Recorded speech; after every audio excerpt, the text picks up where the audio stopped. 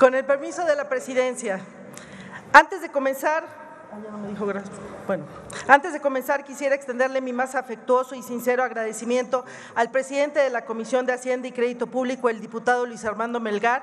que me da la oportunidad de presentar este dictamen en su lugar además de todo su apoyo y acompañamiento. Igualmente, a todas y todos los diputados, secretarios, integrantes de los grupos parlamentarios de Morena, PT, PAN, PRI, PRD, MC y por supuesto al Grupo Parlamentario del Verde y al equipo de trabajo de la Comisión de Hacienda. De manera particular quiero agradecer a mi coordinador Carlos Puente, al diputado Daniel Murguía, al diputado Carlos Valenzuela, al diputado Idelfonso Guajardo por su arduo trabajo y con especial énfasis a la diputada, la licenciada Adriana Lozano, promovente de la iniciativa que dio pie al presente dictamen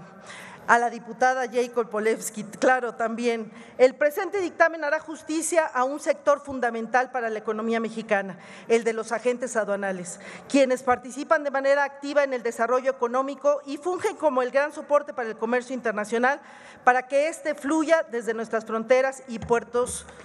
comerciales. De igual forma, votando a favor, abonaremos a la tarea de brindar seguridad y certeza a las relaciones comerciales que se tienen con el exterior. Al respecto, me gustaría darles un ejemplo del avance que tendremos con esta iniciativa. Vamos a suponer que el día de hoy, sin el texto que se está promoviendo, tuviéramos un embarque de exportación del extranjero para México y, y sucede algo con el agente aduanal, una incapacidad permanente, no tendría no, un,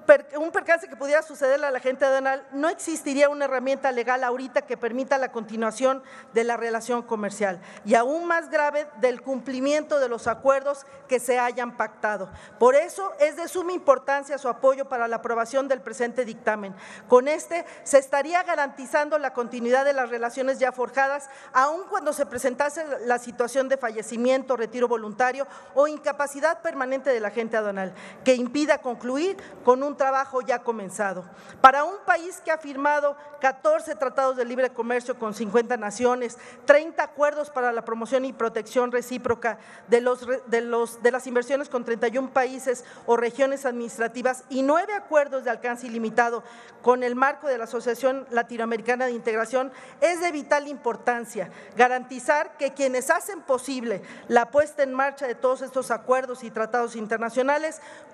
con las herramientas legales para garantizar que se mantengan los beneficios que dicha actividad traen para la economía mexicana. Es nuestro deber hacer justicia para los aproximadamente 830 agentes aduanales y más de 8 mil personas que son la fuerza laboral de estos y que están repartidos en 50 aduanas a lo largo y ancho del territorio nacional y que orgullosamente les puedo decir que en mi querido Tamaulipas contamos con 15 de esas 50 aduanas. Cabe señalar que de acuerdo a la Confederación de Asociaciones de Agentes Aduanales de la República Mexicana, CAREM, México realiza 31 operaciones del comercio exterior por minuto. Les reitero, estimadas y estimados compañeros legisladores, que el trabajo que desempeñan los agentes aduanales retribuye con importantes ingresos a las finanzas públicas, porque no solo son los actores del comercio, sino también la gran captación de impuestos y cobros de derechos que se realizan a través de nuestras aduanas.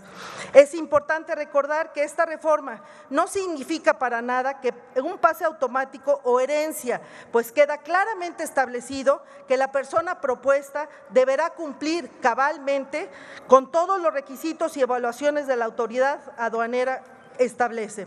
Compañeras y compañeros diputados, no me cabe la menor duda de que al aprobar este dictamen le brindaremos certeza a los agentes aduanales, pero más aún a la economía nacional y al pueblo de México. Es cuanto, Presidenta.